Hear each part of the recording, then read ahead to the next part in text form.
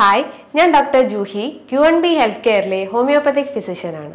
Mouth ulcer അഥവാ വായ്പുണ്ണ്. ഇന്നത് കുട്ടികളിലും മുതിർന്നവരിലും കുറച്ചുകൂടി ഏജ്ഡ് ആയിട്ടുള്ള ആളുകളിലൊക്കെ സർവസാധാരണമായിട്ട് കണ്ടുവരുന്നതാണ്. ഒരുപാട് കാരണങ്ങളുണ്ട് ഈ മൗത്ത് അൾസർ വരെ ചിലപ്പോൾ അത് റെക്കറന്റ് ആയിട്ട് വന്നുകൊണ്ടിരിക്കാം ചിലപ്പോൾ അത് വീക്ക്ലി ആവാം മന്ത്ലി ആവാം അങ്ങനെ പല ടൈമിലായിട്ടൊക്കെ ഈ ഒരു അൾസർ വരാനുള്ള ചാൻസസ് ഉണ്ട്. അപ്പോൾ അതിന് ഒരുപാട് കാരണങ്ങളുണ്ട്. എന്തൊക്കെയാണ് കാരണങ്ങളെന്ന് നമുക്കിവിടെ ഡിസ്കസ് ചെയ്യാം. മെയിൻ ആയിട്ട് അവർ ശരീരത്തിൽ എന്തെങ്കിലും പോഷകാഹാരക്കുറവാണ് mainly vitamin B twelve deficiency ആയിട്ട് നമുക്ക് പറയാം. പിന്നെ പറയുന്നതാണ് നമ്മൾ ബ്രഷ് ചെയ്യുമ്പം നമ്മൾ ആ ഒരു ടൂത്ത് ബ്രഷ് തട്ടിപ്പോയാലോ ചിലപ്പോൾ ആക്സിഡന്റലി തട്ടിപ്പോയതായിരിക്കാം.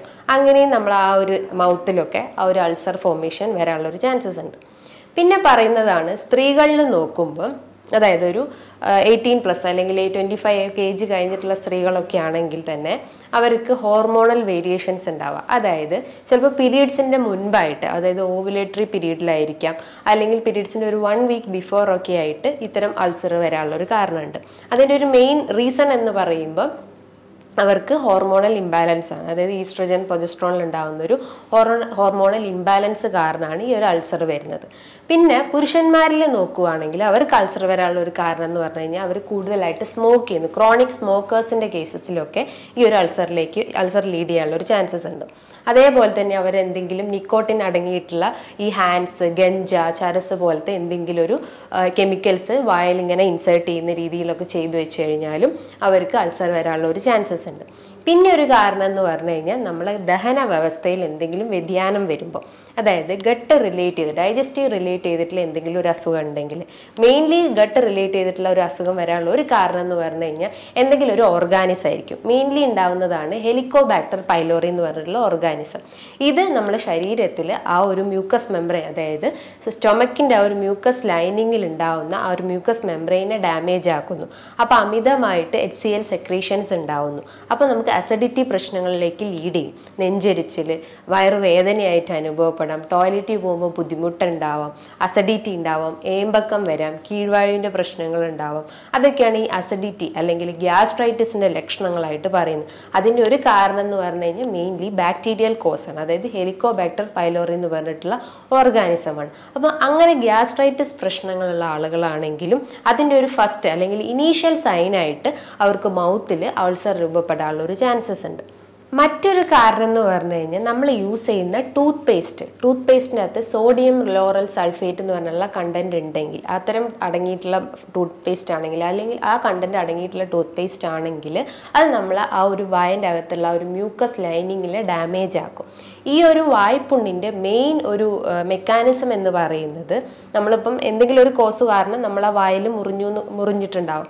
അത് ആ ഒരു ഏരിയയിൽ ഇൻഫ്ലമേഷൻ ഉണ്ടാക്കാന്റെ മെയിൻ ഒരു റീസൺ എന്ന് പറഞ്ഞു കഴിഞ്ഞാൽ അവിടെ നമ്മുടെ പ്രതിരോധ കോശങ്ങൾ വന്ന് അറ്റാക്ക് ചെയ്യും. അപ്പോൾ അതുമൂലമാണ് നമുക്ക് അവിടെ ഒരു ഇൻഫ്ലമേഷനും ആ ഒരു അൾസറിലേക്കൊക്കെ ലീഡ് ചെയ്യുന്നത്.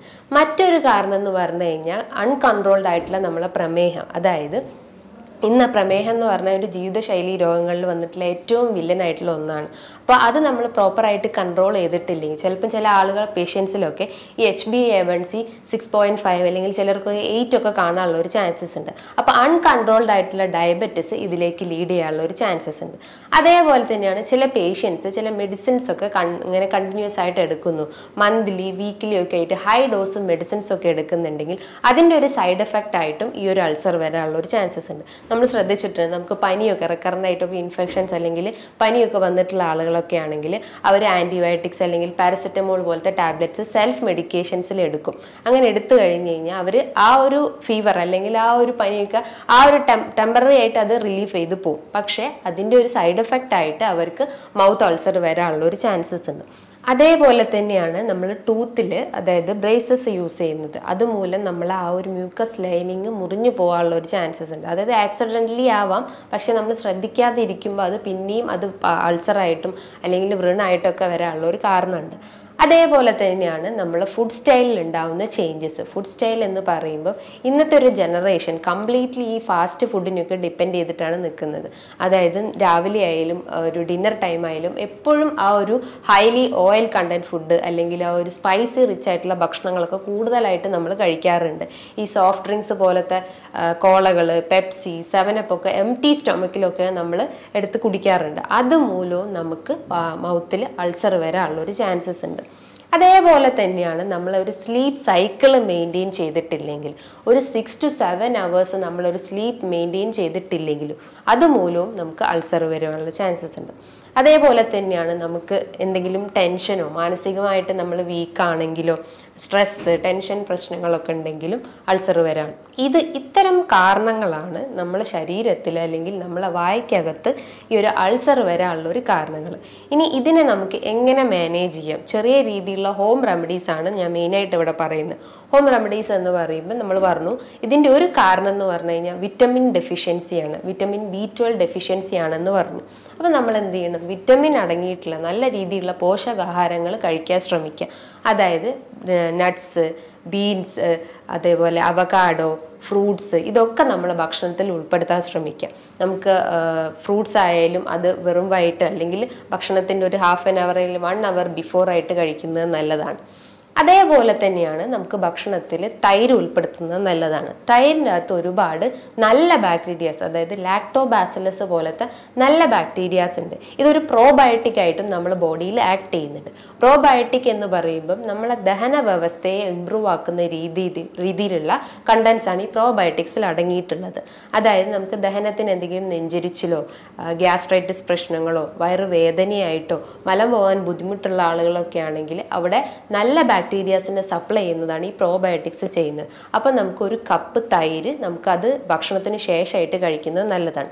അതുകൂടാതെ തന്നെ നമുക്കൊരു ഒരു കപ്പ് തൈര് നമ്മൾ ജസ്റ്റ് വായിലൊന്ന് ഒരു വൺ ടു ടു മിനിറ്റ്സ് അല്ലെങ്കിൽ ഒരു ഫിഫ്റ്റീൻ സെക്കൻഡ് അല്ലെങ്കിൽ തേർട്ടി സെക്കൻഡ്സ് ജസ്റ്റ് ഒന്ന് ഹോൾഡ് ചെയ്തിട്ട് ജസ്റ്റ് ഒന്ന് തുപ്പിക്കളയുന്നതും നല്ലതാണ്. അതേപോലെ തന്നെയാണ് നമുക്ക് വെർജിൻ കോക്കനട്ട് ഓയിൽ യൂസ് ചെയ്യുന്നത് നല്ലതാണ്. ഇത് ആ ഒരു മുറിവിനെ ഉണക്കാൻ സഹായിക്കുന്നതാണ് വെർജിൻ കോക്കനട്ട് ഓയിൽ ചെയ്യുന്നത്. അതേപോലെ തന്നെയാണ് നമുക്ക് കുട്ടികൾക്കായാലും കുറച്ച് ബുദ്ധിമുട്ടാണ്. പക്ഷെ എന്നാലും പറയാണ് ഈ സാൾട്ട് വാട്ടർ അതായത് ഒരു ഗ്ലാസ് തിളപ്പിച്ചാറിയ വെള്ളം എടുക്കുക. അതിന്റെ അകത്തേക്ക് ഒന്നര ടീസ്പൂൺ അല്ലെങ്കിൽ അര ടീസ്പൂൺ സാൾട്ട് ആഡ് ചെയ്തിട്ട് ജസ്റ്റ് ഒന്ന് നമ്മൾ വായിൽ ഹോൾഡ് ചെയ്ത് വെക്കുക.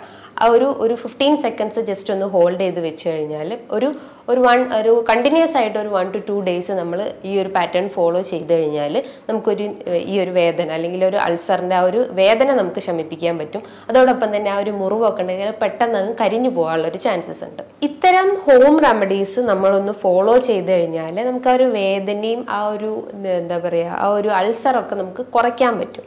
ഇനി നമ്മൾ ജസ്റ്റ് ഒന്ന് നമ്മൾ ടോട്ടലി നമ്മൾ മാനേജ് ചെയ്യേണ്ട കുറച്ച് കാര്യങ്ങൾ എന്ന് പറഞ്ഞാൽ ഞാൻ പറഞ്ഞു ഇതിന്റെ ഒരു മെയിൻ കോസ് എന്ന് പറഞ്ഞാൽ സ്ലീപ്പിൽ ഉണ്ടാവുന്ന വേരിയേഷൻസ് ആണ്. അല്ലെങ്കിൽ സ്ലീപ്പിൽ ഡിസ്റ്റർബൻസ് ഉണ്ടാവുമ്പോൾ നമുക്ക് അൾസറിന്റെ അതായത് ഒരു എക്സ്റ്റേണൽ സൈൻ ആയിട്ട് നമുക്ക് അൾസർ വരാം. അപ്പോൾ ഒരു സിക്സ് ടു സെവൻ അവേഴ്സ് എപ്പോഴും ഒരു സ്ലീപ്പ് സൈക്കിൾ അവിടെ മെയിന്റെയിൻ ചെയ്യാൻ ശ്രമിക്കുക. നമുക്കറിയാം ഒരു സ്ലീപ്പ് ഡിസ്റ്റേബ് ആയി കഴിഞ്ഞാൽ നമ്മളെ കോൺസെൻട്രേഷൻ തെറ്റിപ്പോവും. നമ്മൾ ഡെയിലി റൂട്ടീൻ തന്നെ മാറും. നമുക്ക് ദഹന പ്രശ്നങ്ങൾ ഉണ്ടാവാം. നമുക്ക് കിതപ്പിന്റെ പ്രശ്നങ്ങൾ ഉണ്ടാവാം. ടോയ്ലറ്റിൽ പോകാനുള്ള ബുദ്ധിമുട്ടുണ്ടാവും. അങ്ങനെ പല രീതിയിലുള്ള ലക്ഷണങ്ങൾ നമ്മളെ ശരീരത്തിൽ കാണിക്കും. നമ്മൾ ടോട്ടലി ഒരു ഡൾ സ്റ്റേജിലോട്ട് പോകും. നമ്മളെ സ്ലീപ്പ് ടോട്ടലി ചേഞ്ച് ആയി കഴിഞ്ഞു. എപ്പോഴും ഒരു സ്ലീപ്പ് ഒരു സെവൻ ടു സിക്സ് അല്ലെങ്കിൽ six to seven hours sleep cycle maintain ചെയ്യാൻ ശ്രമിക്കുക. ഇനി ഓവർ ടെൻഷനോ സ്ട്രെസ്സോ ഒക്കെ ഉള്ള ആളുകളാണെങ്കിൽ അവർക്കൊരു മെഡിക്കേഷൻസ് സ്റ്റാർട്ട് ചെയ്യാം. അതായത് യോഗ പോലത്തെ എന്തെങ്കിലും ചെറിയ രീതിയിലുള്ള മൈൻഡ് റിലാക്സിങ് എക്സസൈസ് ചെയ്ത് കഴിഞ്ഞാൽ അവർക്ക് ആ ഒരു സ്ട്രെസ്സും ടെൻഷനും ഒക്കെ കുറയ്ക്കാൻ പറ്റുന്നതാണ്. അതേപോലെ തന്നെയാണ് അവർക്ക് നല്ല രീതിയിൽ ബോഡി ഹൈഡ്രേറ്റ് ചെയ്യാൻ ശ്രമിക്കുക. ഇനിയിപ്പോൾ ദഹനത്തിന്റെ എന്തെങ്കിലും പ്രശ്നങ്ങളൊക്കെ ഉണ്ടെങ്കിൽ മലബന്ധം പോലത്തെ പ്രശ്നങ്ങൾ അതായത് വയറിൽ എരിച്ചിലോ പുകച്ചിലോ അൾസർ പ്രശ്നങ്ങൾ ഗ്യാസ്ട്രൈറ്റിസ് പ്രശ്നങ്ങളൊക്കെ ഉള്ള ആളുകളാണെങ്കിൽ അവർ വെറും വയറ്റിൽ ഒരു എം ടി സ്റ്റൊമക്കിൽ അല്ലെങ്കിൽ വെറും വയറ്റിൽ അല്ലെങ്കിൽ ഒരു എം ടി സ്റ്റൊമക്കിൽ വെള്ളം കുടിക്കുന്നത് ഏറ്റവും നല്ല കാര്യമാണ്. അതിന്റെ അത് ജസ്റ്റ് ഒന്ന് ആഡ് ചെയ്യേണ്ട തിളപ്പിച്ചാറി വെള്ളം തന്നെ കുടിക്കാൻ ശ്രമിക്കുക.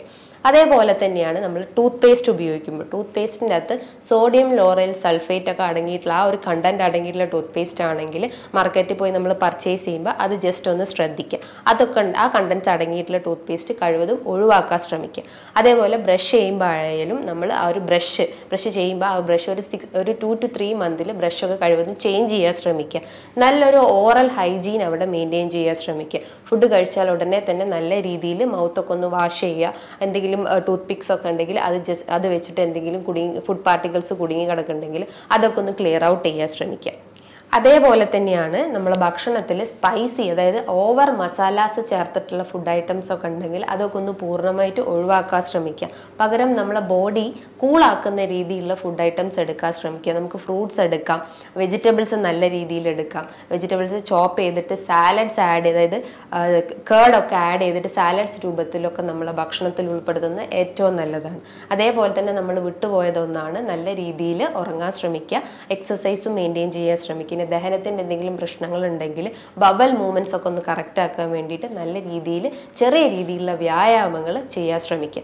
ഈ പറഞ്ഞിട്ടുള്ള ഒരു മാനേജ്മെന്റ് നമ്മൾ ഫോക്കസ് ചെയ്ത് കഴിഞ്ഞാൽ ഈ ഒരു പാറ്റേൺ നമ്മൾ ഫോക്കസ് ചെയ്ത് കഴിഞ്ഞാൽ ഈ ചെറിയ പ്രശ്നങ്ങൾ നമ്മൾ വലുതാക്കുന്നതിന് മുന്നേ നമുക്ക് കൺട്രോൾ ചെയ്യാൻ പറ്റുന്നതാണ്. ഇനിയിപ്പോൾ അൾസർ നമ്മൾ ചിലർ ചോദിക്കും അൾസർ എപ്പോഴാണ് അതൊരു ക്യാൻസറിലേക്ക് ലീഡ് ചെയ്യുക? ഇനി അൾസർ ഇങ്ങനെ കണ്ടിന്യൂസ് ആയിട്ട് നിന്ന് കഴിഞ്ഞാൽ വേറെ എന്തെങ്കിലും ബുദ്ധിമുട്ടുണ്ടാവുമോ ഇനി ദഹനത്തിന്റെ പ്രശ്നം മൂലമാണോ ഈ ഒരു അൾസർ ഉണ്ടാവുന്നത്? അങ്ങനെ പല സംശയങ്ങളുണ്ട് യൂഷ്വലി നമ്മൾ ആ ഒരു മൗത്ത് അൾസർ അല്ലെങ്കിൽ വായ്പുണ്ട് ഒരു ഒരു സെന്റിമീറ്ററിനെക്കാട്ടും സൈസ് കൂടുതലാണെങ്കിൽ നമ്മളൊന്ന് ജസ്റ്റ് ശ്രദ്ധിക്കണം. അതേപോലെ തന്നെ റെക്കറന്റ് ആയിട്ട് ഒരു വീക്കിലി ഒരു ടു ടു ത്രീ ടൈംസ് പിന്നെയും റെക്കറന്റ് ആയിട്ട് ഇങ്ങനെ അൾസർ വന്നുകൊണ്ടിരിക്കുകയാണെങ്കിൽ നമ്മൾ തീർച്ചയായിട്ടും ഒരു ഡോക്ടറെ നിർദ്ദേശപ്രകാരം ആ ഒരു മെഡിസിൻസ് സ്റ്റാർട്ട് ചെയ്യേണ്ടത്. ഇനിയിപ്പോൾ ഓവർ മെഡിസിൻസ് ഒക്കെ എടുക്കുന്ന ആളുകളാണെങ്കിൽ അതൊക്കെ ഒന്ന് പൂർണമായിട്ടും ഒഴിവാക്കാൻ ശ്രമിക്കുക. ബിക്കോസ് ഈ ഓവർ മെഡിസിൻസ് ഒരു സൈഡ് എഫക്റ്റിന്റെ ഒരു സൈഡ് എഫക്റ്റ് ആയിട്ടാണ് നമുക്ക് ഈ ഒരു അൾസർ വരുന്നത്. അപ്പോൾ ഓവർ മെഡിസിൻസ് ഉള്ള ആളുകളാണെങ്കിൽ അത് പൂർണമായിട്ടും ഒഴിവാക്കാൻ ശ്രമിക്കുക. ഈ പറഞ്ഞിട്ടുള്ള ഒരു നല്ല രീതിയിലുള്ള ഒരു ഹെൽത്തി ലൈഫ് സ്റ്റൈൽ മെയിന്റെയിൻ ചെയ്ത് കഴിഞ്ഞാൽ ഈ ഒരു അൾസർ പ്രശ്നങ്ങൾക്ക് നമുക്ക് പൂർണമായിട്ടും മാറ്റിയെടുക്കാവുന്നതാണ്. ഹോമിയോപ്പതിയിൽ ഇതിന് ഒരുപാട് മെഡിസിൻസ് അവൈലബിൾ ആണ്. മെർക്സോൾ ഹെപ്പാർ സൾഫ് ബെല്ലഡോൺ അങ്ങനെ പല രീതിയിലുള്ള മെഡിസിൻസ് ഇന്ന് അവൈലബിൾ ആണ്. സോ നല്ല രീതിയിലുള്ള മെഡിസിൻസ് സ്റ്റാർട്ട് ചെയ്തിട്ട് നമുക്ക് ഈ ഒരു ഈ ഒരു അസുഖത്തെ നമുക്ക് പൂർണമായിട്ടും സ്റ്റോപ്പ് ചെയ്യാവുന്നതാണ്. ഇനി ഇതുമായി ബന്ധപ്പെട്ട് നിങ്ങൾക്ക് എന്തെങ്കിലും സംശയങ്ങൾ ഉണ്ടെങ്കിൽ നിങ്ങൾക്ക് താഴെ കാണുന്ന നമ്പറിൽ കോൺടാക്ട് ചെയ്യാവുന്നതാണ്. നല്ലൊരു ഹെൽപ്പ് ടോപ്പിക്കുമായി വീണ്ടും കാണാം. താങ്ക്